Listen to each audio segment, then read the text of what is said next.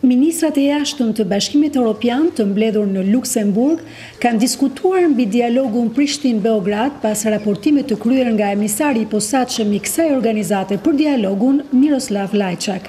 Bashkimi Europian favorizon një marrëveshje të ndërsjellë dhe ligjërisht të detyrueshme sa më të shpejtë midis dy palëve, Për shefin e diplomacisë europiane, Josep Borrell, kjo marrëveshje është çështje muajsh dhe jo çështje vitesh, nëse të dyja palët angazhohen në mënyrë konstruktive.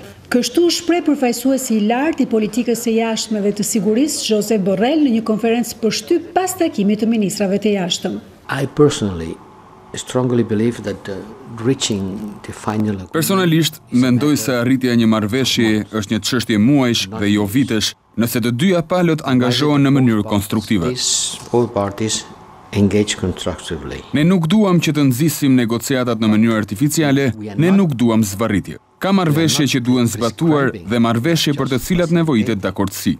Ne mbështesim të gjitha përpjekjet e bëra në kuadrin e dialogut Prishtinë-Beograd. Ne mirëpresim Shtetet e Bashkuara të Amerikës si një partner i rëndësishëm.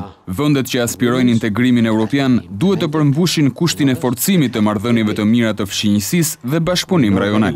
Ky është një kusht dhe politikanët duhet të japin shembull personal duke zgjedhur për të punuar së bashku dhe promovuar klimën e besimit të ndërsjellë.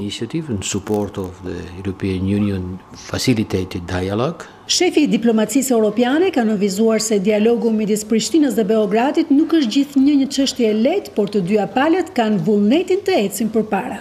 We have had three high level meetings with the two presidents. Ne kemi patur tre raunde të larta dialogu me presidentin e Serbisë dhe kryeministrin e Kosovës. Kjo nuk është gjithnjë e lehtë, por të dyja palët shprehën gatishmërinë për të ecur përpara me dialogun, pavarësisht çështjeve të dhimbshme dhe komplekse në tryezë. Të dy liderët kanë konfirmuar që ata i përkushtojnë rëndësinë më të madhe integrimit europian. Ata e dinë që gjetja e një zgjidhjeje për dialogun midis Prishtinës dhe Beogradit, cila do qoftë ajo, është një kusht në rrugën e tyre drejt anëtarësimit në Bashkimin Europian.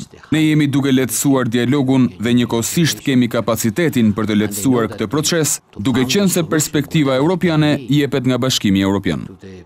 Shefi i diplomacisë europiane ka thënë gjithashtu se emisari i posaçëm i Bashkimit Europian për dialogun, Miroslav Lajçak, ka mbështetjen e ministrave të jashtëm të Bashkimit Europian.